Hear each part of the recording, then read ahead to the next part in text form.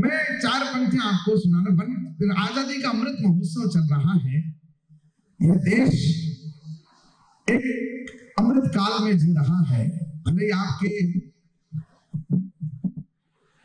क्या है अमृत महोत्सव? जिन देवताओं के दर तक अभी कोई पूजा नहीं गया इस अमृत महोत्सव में उन्हें पूजना है जिन्हें अब तक क्या बात है वाह घोर गुलामी में भी जिनकी शौकत शान बड़ी थी जिनके दरवाजे पर सत्ता सुविधा लिए खड़ी थी उन्हें भूलकर जिनके ऊपर बंदी बहुत खड़ी थी हम उन्हें पूछते रहे जिन्हें ना लाठी कभी पड़ी थी। वाह वाह। मुझे पंद्रह मिनट मिले मैं पाँच मिनट में उन महापुरुषों को स्मरण कर लेता हूँ जिन्हें स्मरण इस अमृत महोत्सव में करने के लिए इस अमृत काल की घोषणा हुई है।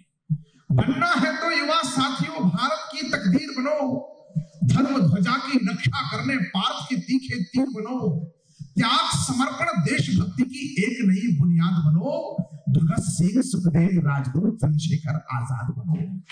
भगत सिंह सुखदेव, राजगुरु चंद्रशेखर आज़ाद बनो। कौन चंद्रशेखर आज़ाद? हाँ आज़ाद वही जो भारत माँ की आँख का तारा था। भारत की आज़ादी का आज़ाद स्वयं भी नारा था। खेल खिलौने ना भाइयों को हथियारों से खेला था। निर्मम कोड़ों को बचपन में तन पे अपने झेला था। शेरों से हुंकार को सुनकर तख्त फिरंगी डोल गया। आज़ाद रहूँगा जीवन भर में बड़ी अदालत बोल गया। वाह वाह। चैतन्य देश के बड़े संचालक है। उन्होंने इस कार्यक्रम की प्रस्तावना में लिख दिया था कि महावीर जयंती और दो महावीर हुए इस धरती पर।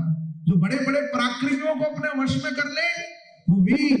जो वीरों को अपने वश में कर ले, वो महावीर। वाह वाह।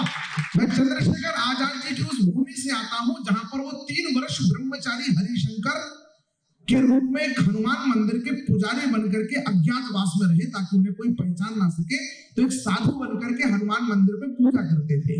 मैं उस हनुमान मंदिर के नित्य दर्शन करने का अभ्यासी हूँ और वर्षों से वहाँ जाता हूँ। वहाँ पर बैठ करके मैंने उस मंदिर में एक चित्र खींचने की कोशिश की।